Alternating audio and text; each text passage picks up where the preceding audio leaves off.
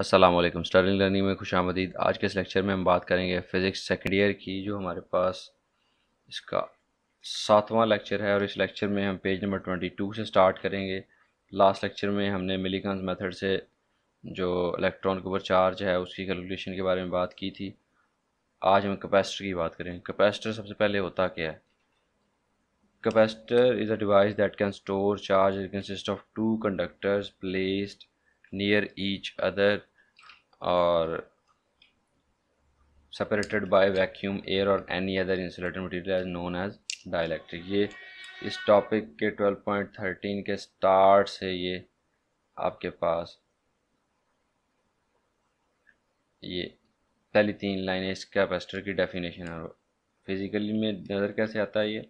वैसे तो गोल नज़र आता है, लेकिन इसके अंदर जो मेकिंग होती है वो कैसे होती है? एक प्लेट ये और एक प्लेट ये दरमियान में ये सेपरेशन होती है, ये एयर भी हो सकती है, ये वैक्यूम हो सकती है, और ये कोई और डाइलेक्ट्रिक मटेरियल हो सकता है। डाइलेक्ट्रिक मटेरियल ऐसा मटेरियल कहते हैं कि जिसमें से current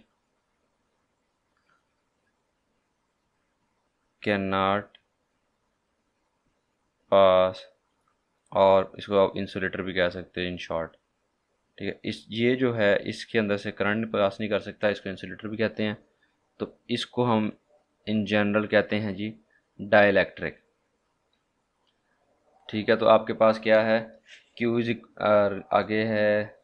Usually the conductors are in the form of parallel plates and the capacitor is known as parallel plate capacitor parallel में होती हैं मतलब दोनों एक ही तरह ये पैरल में है। ये भी इसके और इसके दरमियान में एंगल क्या है? ज़ीरो डिग्री दैट मीन्स ये पैरल में है तो इसकी वजह से इसमें इसको पैरल प्लेट कैपेसिटर्स कहते हैं।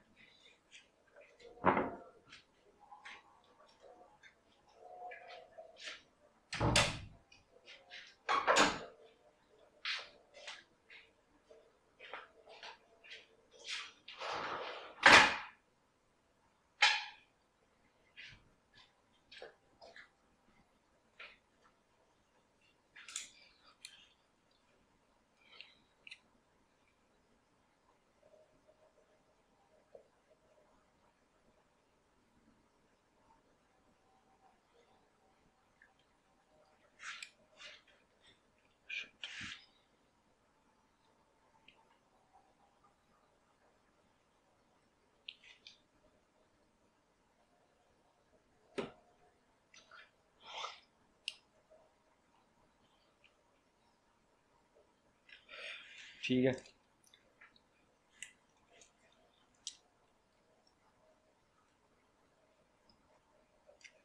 तो जब इन दोनों प्लेट्स के दरमियान में हम लगा देते हैं बैटरी लगा देते हैं इनकी साइडों पे।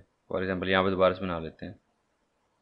इनके दरमियान में अगर मैं बैटरी कनेक्ट कर दूँ, जैसे twelve point figure twelve point two four के अंदर उसने दिखाया हुआ है। ये नेगेटिव साइड ये पॉजिटिव साइड इधर से चार्ज आएगा यहाँ पे प्लस क्यू चार्ज स्टोर हो जाएगा, यहाँ पे नेगेटिव क्यू चार्ज स्टोर हो जाएगा। तो इसके दरमियान डिफरेंस उसने डी का नाम दिया है। दोनों प्लेटों के दरमियान डिफरेंस है। तो इसके ऊपर जो चार्ज की वैल्यू कैलकुलेट की जाती है, उसका फार्मूला जो आपने पहले भी पढ़ा है, वो क्या होता है, जो डिपेंड करता है वोल्टेज के ऊपर। डायरेक्टली प्रोपोर्शनल होता है वोल्टेज के साथ उसका रिलेशन होता है। Like Q is directly proportional to V जितना वोल्टेज हम अप्लाई करेंगे, उतने ही ज़्यादा पॉजिटिव चार्ज यहाँ पे खड़े होंगे, यहाँ उतने ही नेगेटिव चार्जेस यहाँ पे अच्छा चार्ज स्टोर कैसे होता है कि आपके पास ये दरमियान में डिस्टेंस है, इसमें से करंट गुजर नहीं सकता। लेकिन जब हम बैटरी के साथ कनेक्ट करते हैं तो कुछ पॉजिटिव चार्जेस यहाँ से, यहाँ पे आते हैं और नेगेटिव चार्जेस यहाँ पे स्टोर होते हैं। तो उसके बाद रास्ता नहीं है उनके पास जाने के लिए तो ये पॉजिटिव चार्ज नेगेटिव को अट्रैक्ट करते हैं नेगेटिव इस पॉजिटिव को अट्रैक्ट करते हैं और यहाँ पे स्टक हो जाते हैं, खड़े हो जाते हैं अनलेस एंड अनटिल इसको कहीं और एक्सटर्नल सोर्स से कनेक्ट किया जाए और आपके पास वो चार्ज दोबारा से आपको मिल जाए। इसीलिए कहते हैं कैपेसिटर जो होता है, चाहे उसको पीछे आपने करंट बंद भी कर दिया, उसको पहले न्यूट्रलाइज किया जाता है, उसको पहले किसी ग्राउंड सोर्स के साथ लगा के उसमें की जो ये स्टोर चार्ज है उसको निकाला जाता है अदरवाइज़ वो आपको करंट लग सकता है, आपको बड़ा शॉक भी लग सकता है। तो Q इज़ इक्वल्स टू अब प्रोपोर्शनलिटी का साइन ख़त्म करेंगे तो क्या होगा? इक्वल्स टू सी वी ये भी लिख सकते हैं या सी अगर कैलकुलेट करना है तो क्यू बाई वी हो जाएगा किसी भी तरह से।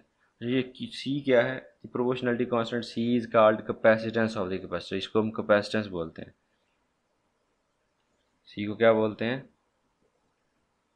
Capacitance the ability to store the charge it depends upon the value of capacitance क्योंकि यहाँ पे देखें सी इस फार्मूले के अंदर आ रहा है।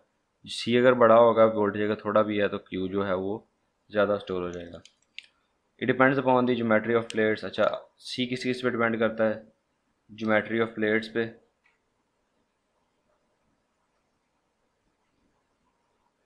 ठीक है सी डिपेंड्स जोमेट्री पे डिपेंड करता है, और किस पे डिपेंड करता है? आपके पास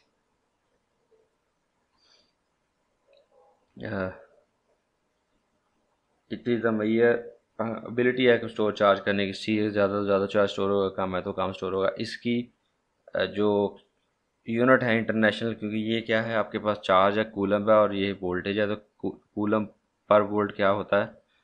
कैपेसिटेंस का यूनिट होगा C is equals to coulomb over volt जिसको हम फेरेड भी बोलते हैं। ठीक है? The capacitance of a capacitor is one farad if the charge अब देखें, ये सी को वन फेरेड बनाना है charge of one coulomb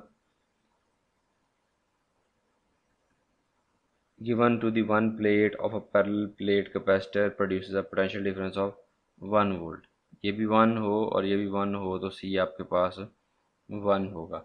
तो ये आपके पास इसकी डेफिनेशन आ गई। इसके बाद है capacitor capacitance of a parallel plate capacitor अब सिंपल कैपेसिटर आपने पढ़ लिया, क्या होता है? दो पैरल प्लेट्स होती हैं और उनके दरमियान स्पेसिंग होती है एयर होती है, या वैक्यूम होता है, या कोई डाइलेक्ट्रिक मीडियम मीडियम होता है जिसको डाइलेक्ट्रिक कहते हैं, कोई भी मतलब जो इंसुलेटर मटीरियल जिसमें से करंट पास नहीं कर सकता। ठीक है? उसके बाद उनका वोल्टेज किस पर डिपेंड करती है? चार्ज किस पर डिपेंड करता है, जो स्टोर होता है, क्योंकि ये चार्ज स्टोरिंग डिवाइस है, यहाँ पे रास्ता नहीं है तो यहाँ पे जो चार्ज आएगा, यहाँ पे चार्ज आएगा दूसरे को अट्रैक्ट करेंगे, लेकिन मूव नहीं कर सकते अनलेस एंड अनटिल कोई और रास्ता उन्हें नहीं मिलता। तो अब उसके बाद पैरल प्लेट प्लेट कैपेसिटेंस की कैपेसिटेंस है, इसमें हमने टेंथ के अंदर शायद आपको अगर याद हो तो उसमें हमने कैपेसिटर की जो पैरेलल एंड सीरीज़ कम्बिनेशन हैं, वो पढ़े थे। यहाँ पे वो पैरेलल सीरीज़ का जो कम्बिनेशन हैं, उनको नहीं पढ़ रहा, सिर्फ़ उसमें थोड़ी सी डिटेल के अंदर जो कैपेसिटेंस की वैल्यू जैसे हमने जो, क्या से कहते हैं कूलम्स ला है, उसको भी हमने डिटेल में पढ़ा था, उसकी के की value one over four pi epsilon naught के बराबर हमने निकाली थी। हालाँकि हमने के की फॉर्म में पढ़ लिया उसकी वैल्यू लेकिन के को जो के का आगे जो नेक्स्ट फार्मूले की फॉर्म में आती है, वो हमने नहीं पढ़ा था तो वो उसने इसमें पढ़ा। तो capacitance of a parallel plate capacitors आपके पास ट्वेल्व पॉइंट फोर्टीन टॉपिक है। पैरेलल प्लेट कैपेसिटर्स का कैपेसिटेंस ठीक है? कह रहा है consider parallel plate capacitor consisting of two metal plates, each with, each of area a separated by distance d as figure shown in figure 12.24 जैसे यहाँ पे आपको नज़र आ रहा है, कह रहा है, दो प्लेटें हैं मेरे पास, इसने थ्री में शो कराई हम भी थ्री में शो कराने की कोशिश करते हैं।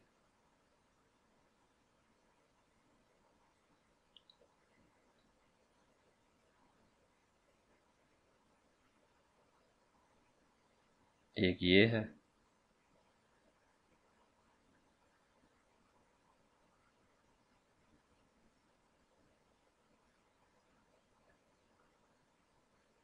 और एक ये है।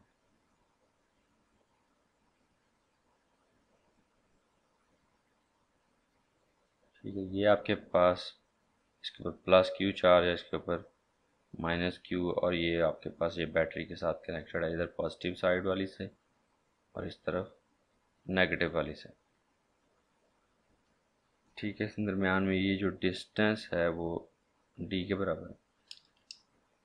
अब वो कह रहा है हमारे पास जो वैल्यू होती है वो क्या होती है? C is equal to Q Q is equal to C V तो C is equal to Q by V capacitance की वैल्यू तो यहाँ पर कैपेसिटेंस के ऊपर डिस्कस करा तो सी के अंदर चेंजेस आएँगे उसको डिस्कस करेंगे। ये सी वैक्यूम उसने लिखा है क्योंकि इसके दरमियान अभी वैक्यूम है। अगर कह रहा है हम उसके अंदर कोई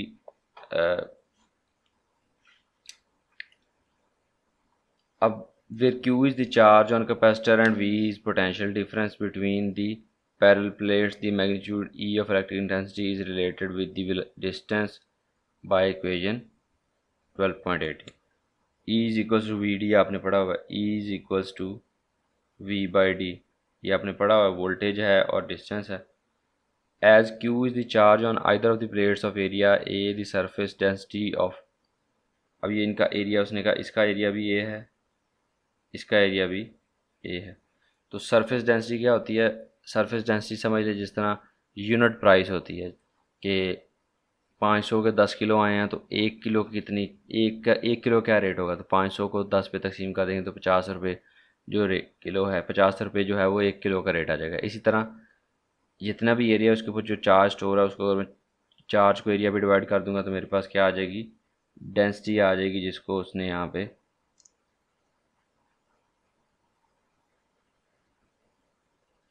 किस नाम से शो कराया हुआ है? अल्फ़ा के नाम से। क्योंकि जहाँ पे मैं लिखने में थोड़ा सा पर क्रॉस लगे हुए इस वजह से। क्यू बाय ए इसको बोलते हैं डेंसिटी चार्ज डेंसिटी। ठीक है? तो अब आपके पास as already shown in figure section 12.8 the electric intensity between two oppositely charge plate is given by अब आपको पता है, आपने पहले अपोजिटली चार्ज प्लेट्स के दरमियान जो ई e है, वो अल्फ़ा उसकी चार्ज डेंसिटी ओवर एप्सलन जो उसके दरमियान मटेरियल होता है, उस पर डिपेंड करती है। ठीक है? तो यहाँ पे E is equals to alpha व एप्सलन नॉट है तो यहाँ पे एक आपके पास E is equals to V by D है। ठीक है तो अब आप क्या कर सकते हो? यहाँ पे उसने अल्फ़ा की वैल्यू लगाई है जो यहाँ से कैलकुलेट की। इसकी वैल्यू अगर इधर पुट कर दें तो क्या होगा? Q by A epsilon naught E की वैल्यू आ जाएगी और V is equals to V D होता है। इस तरफ़ मैं ये वैल्यू पुट कर दूँ। V by D equals to Q over A epsilon naught तो यहाँ से अगर मैं निकालना चाहूँ सी वैक्यूम की वैल्यू तो मैं सी वैक्यूम में क्या निकाला था? क्यू बाई वी तो इसको अगर मैं क्यू बाई वी कर दूँ, ये इधर आ जाएगा क्रॉस मल्टीप्लाई हो जाएगा Q by V sorry Q by V इस तरफ़ आ जाएगा, और A epsilon naught over T इधर आ जाएगा। अब क्यू बाई बी की जगह पर सी लगा दूँगा तो इसको सीधा कर लेते हैं। C equals to A E naught over D ये वैक्यूम की वैल्यू तो ये जो फार्मूला है, ये मोर जनरल फार्मूला है, जिसमें आपके पास एरिया दिया हो, दरमियान में सेपरेशन दी हो और डिस्टेंस दिया हो तो आप उसकी कैपेसिटेंस बता सकते हैं। और उस कैपेसिटेंस के लिहाज से फिर आपके अंदर जितनी वोल्टेज स्टोर होगी, वो बनेगी और जितना वो सारा कुछ होगा, उससे होगा। इसलिए आप बता सकते हैं विदाउट अप्लाइंग वोल्टेज मतलब वोल्टेज अप्लाई करने से पहले आप कैपेसिटेंस की कैलकुलेशन कर सकते हैं। अदरवाइज़ यहाँ पे हमें by experiment by applying voltage उसके बाद हम बता सकते हैं कि इतनी इसकी कैपेसिटेंस है। लेकिन यहाँ पे ये वाला जो फार्मूला है मोर जनरल फार्मूला तो इससे हम उसकी कैपेसिटेंस बताते हैं। ई e नॉट लगेगा जब आपके पास दरमियान में क्या है? एयर या वैक्यूम है इसलिए यहाँ पे सी वैक्यूम लिखा हुआ लेकिन अगर आपके पास दरमियान में आ, कोई मटेरियल आ जाता तो उसकी आपको पता है ई e आर कहते हैं उसको रिलेटिव परमिटिविटी क्योंकि ये ई नॉट जो है वो ये भी रिलेटिव परमिटिविटी ये फ्री स्पेस की है तो ये ई e आर है। तो इसको हम ई e लिखेंगे सिंपल में। सॉरी ई आर जो होती है वो उस मटेरियल की रिलेटिव परमिटिविटी होती है तो यहाँ पे ई नॉट की जगह पे हम क्या लगाएँगे फिर? और ये ई आर जो है ई नॉट की जगह पे यहाँ पे आपके पास E naught into epsilon R लग जाएगा, ठीक है? ये चीज़ बन जाएगी आपके पास। ई नॉट की जगह पे आपने ये लगा देना। ये किसके बराबर होता है? E equals to E naught E dot ये आप लोगों ने पहले पढ़ा हुआ है, सिर्फ़ वही चीज़ उसने यहाँ पे दोबारा से इसमें अप्लाई कर दिया तो ये मीडियम के लिए हो जाएगा। जैसे ही यहाँ पे एप्सल नॉट है, ये फ्री स्पेस है, जैसे ही कोई मटेरियल आ गया, जिसकी रिलेटिव परमिटिविटी एप्सल आर थी, उसको जब पुट करेंगे तो ये सी मीडियम बन जाएगी यहाँ पे। Capacitors capacitance of medium equals to A epsilon naught epsilon R over D ठीक है? इसके बाद, ये देखिए यहाँ पे वोल्टेज की वैल्यू जल्दी ज़्यादा बढ़ गई और दरमियान में कोई चीज़ नहीं है। जैसे ही दरमियान में कोई चीज़ लगाएँगे वोल्टेज की वैल्यू डाउन होगी दैट मीन्स वो more charge is required to equalize the capacitance and voltage ठीक है? तो उसकी वजह से हमारे पास इसकी कैपेसिटेंस बढ़ जाती है और उसकी वजह से हमारे पास इसका जो अबिलिटी स्टोर चार्ज है वो बढ़ जाती है। इस फार्मूले में अगर देखें ना, जब वी डिक्रीज़ कर रहा है तो सी बढ़ रहा है। जब सी बढ़ रहा है तो Q equal to C V से हमारे पास अबिलिटी टू स्टोर चार्ज भी बढ़ जाएगी। और जो एप्सिलॉन आर है the relative permittivity of the material उसको कैलकुलेट करने का भी एक हमारे पास आसान सा फार्मूला उस नेट पे दिया हुआ है। वो क्या है? अगर आपके पास कैपेसिटेंस दोनों पर हों, अगर आप कैपेसिटेंस को Q equal to C V से कैलकुलेट कर लो मटेरियल रखने के पहले और मटेरियल रखने के बाद तो उस, उन दोनों को इस्तेमाल करके आप सी ये एप्सिलॉन आर फाइंड कर सकते हो। सी मीडियम ऊपर आएगा और कैपेसिटेंस ऑफ़ वैक्यूम नीचे आएगा। इन दोनों को अगर सॉल्व कर लेंगे तो आपके पास रिलेटिव परमिटिविटी आ जाएगा। ठीक है? The ratio of capacitance of a parallel plate capacitor with an insulating substance as the medium between the air to its capacitance with vacuum as medium between them the ratio of capacitance जो dielectric coefficient epsilon are जो है, इसको हम dielectric coefficient भी कहते हैं। इसकी definition उसने कहा जी हम ये कर सकते हैं रेशो ऑफ़ कैपेसिटेंस मीडियम के साथ और वैक्यूम जो होता है, उन दोनों की रेशो ले लें तो ये आपके पास ये है। इलेक्ट्रिक कांस्टेंट आ जाता है एप्सिलॉन आर आ जाता है।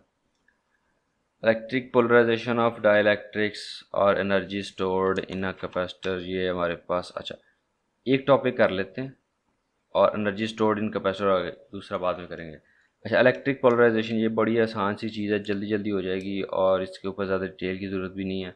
सिर्फ़ एक फिगर जो है, वो मैं साइड में बना के उससे आपको चीज़ें समझा दूँगा। ये जो चीज़ें लिखी हुई हैं आपने ट्वेंटी नंबर फोर और ट्वेंटी फाइव पेज के ऊपर इसकी डिटेल लिखी हुई है, वो आपको मैं बता दूँगा साथ साथ आपने उसको भी पढ़ लेना। तो ये वैसे भी आपको फिगर शायद नज़र आ रही हो, लेकिन अगर नहीं आ रही नज़र, क्योंकि ये बुक ज़रा बारीक लिखी होती है तो मैं यहाँ पर इसको दोबारा से इस कैपेसिटर्स को बना देता हूँ। ये पॉजिटिव चार्ज और इस तरफ़ ये